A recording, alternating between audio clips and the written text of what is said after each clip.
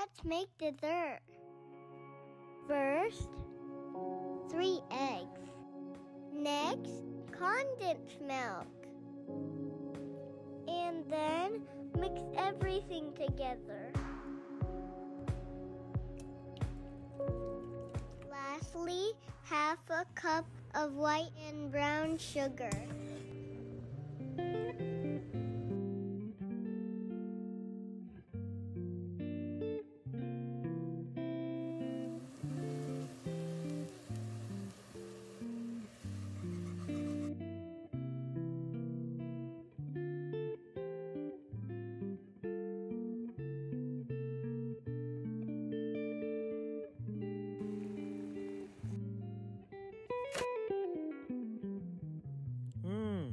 This is so easy, Kay. Let's do it again.